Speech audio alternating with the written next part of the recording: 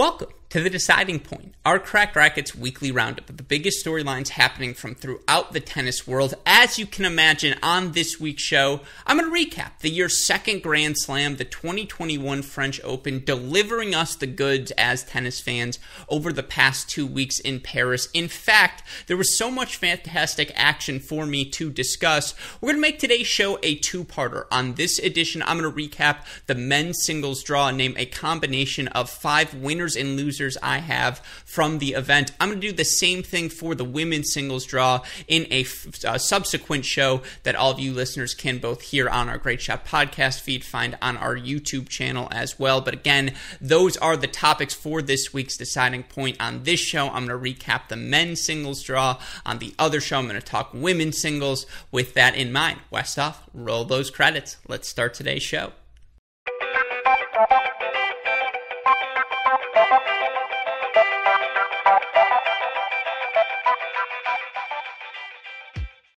Now, I have to discuss the performance of our men's singles champion, Novak Djokovic. Now, a 19 time slam champion comes back from two sets to love down to earn his second major title in Paris, five set victory over Stefano Tsitsipas on Sunday. And for Novak Djokovic, what was so impressive is the gear he was able to find physically in sets three, four, and five in that final, particularly given the mountain he climbed in the semifinal. He becomes the only only player in ATP Tour history to have defeated Rafael Nadal twice at Roland Garros, and there's no denying the level of tennis he played in that semifinal. That's a peak Novak Djokovic performance, particularly physically, his ability to track down balls in the outer thirds of the court, his ability to turn defense in the off- into offense, his ability to be so aggressive with his footwork, find inside out forehands, play his forehand to the lefty, Nadal's forehand in the ad court,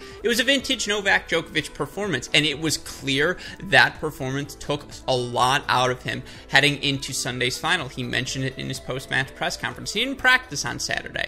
A, because he's Novak freaking Djokovic. He knows what it's going to take in a major final. But B, because physically he was drained, and he was the night match as well. And we'll talk about the French Tennis Federation, their scheduling woes later on in this show. But for Novak Djokovic, for him to find the gear he did in sets three, four, and five, there was no doubt, particularly uh, when he broke early in set five for that 3 1 lead, that he was going to come through in the end and win his 19th major. And that's what he does. And of course, now there are a lot of different things in play for Novak, who's 50 and 8 since the tour resumed in August. And you think, well, okay, one of those eight losses is his loss to Carreno Busta at the US Open, where, of course, he struck a line judge in the throat. He doesn't lose that. There's the obvious A, where very likely he has 20 majors. Very likely at that point he'd have won four consecutive majors. Now would have been Australia, US. Oh, I guess he would have won four out of five Australia, US, uh, then Australia, French Open now here. But the big thing in play he's got a legitimate shot at the Golden Slam. In fact, he's probably the favorite to do so now. I ran a Twitter poll, which, of course, not the most reliable sample size, but a pretty good sample size. We have over 330 voters. As of right now, 44% of you think yes, Novak Djokovic has a shot at the Golden Slam this year. 56% of you think no, he does not. I mean, let's just play a little calculus here. You look for him heading into Wimbledon, where he's won the past two events played 20 2018, 2019. His biggest threat has traditionally been Roger Federer, who we saw make the fourth round before withdrawing before his Berrettini match.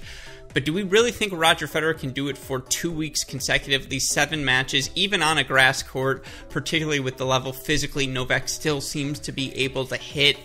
I don't know about that. Do we think one of the next geners is ready? Certainly, Tsitsipas was up two sets to love today, and he had his chances in those third sets. In that fifth set, in particular, it felt like towards the end of the match when he was able to hold 4 4 5, maybe the tides would begin to turn. And when he was able to hold in that opening service game after facing break points, it was like, oh, is this a little bit of a repeat of the Zverev performance where it's going to take so much for Djokovic to come back that he'll run out of gas in the tank in the fifth set? And the answer to all of those questions were or no? And, you know, again, does Medvedev's game feel particularly effective on a grass court? Absolutely it does. Is Tsitsipas's attacking style going to be effective? Absolutely. Berrettini on grass, that feels like a nightmare. And even a guy like a Zverev or a Rublev or a Shapovalov, all of those guys, Sinner, play big attacking games.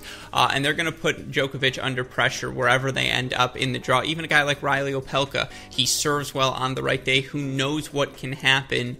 But I know this Novak Djokovic is going to be locked in physically. And again, he's one of six players who's in the top 15 in both hold percentage and break percentage. You look at his numbers right now, his hold percentage is actually 0.4% higher in the 2021 season than it is in his career. His break percentage up 3% this season at 36% for his career. He's 32.2, so actually 3.8% he's 34 years old, and we're seeing close to, if not the, it's not the peak of Novak Djokovic because we don't see that match in, match out, week in, week out but he can still hit that peak. He can still hit that top gear. And to do that at age 34, again, I've mentioned the fact that I think he's got a chance to win the Golden Slam this year because he's the favorite going into Wimbledon. I actually think the U.S. Open, just given how many of these young players, a Rublev in the, there in particular, a Sinner, you even throw, again, some of the younger guys in the mix who are better hard court players or a healthy Dominic Thiem at that point. There are a lot more threats at that U.S. Open, in my opinion, than Wimbledon, but Wimbledon would be number 20 for him in the total Grand Slam count.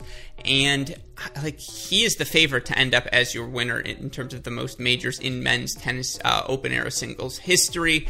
I think he is the favorite as well to perhaps get to 24 before Serena. I think he is We'll talk about the GOAT discussion a little bit later, but he is just the favorite, period. The rest of the season, a prohibitive number one in the world right now. And for him to follow up that win over Rafa, again, drop those first two sets, go into the bathroom, do whatever he did in that changeover, get a new towel, or get new gear on, and come out a completely new player. It worked for him. His stats got better and better as the match went on. Physically, he seemed to sink his teeth and become more disciplined as the match went on as well. And of course, a disciplined, locked in, physically Novak Djokovic is still the best male player in the world. He gets the job done now 19 and 10 in Grand Slam finals. That's freaking ridiculous. 19 Grand Slam titles overall. French Open num- title number two for Novak Djokovic.